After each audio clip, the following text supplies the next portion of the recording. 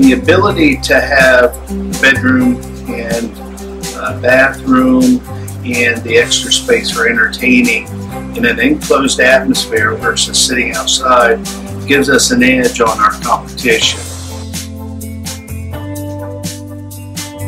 River Landings was always posed to be uh, small but elite.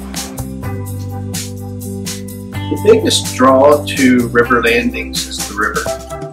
The ability to have uh, the private island, the marina, and boating is, is a big attribute for the project. I would think that the buyers will enjoy the other buyers as much as anything.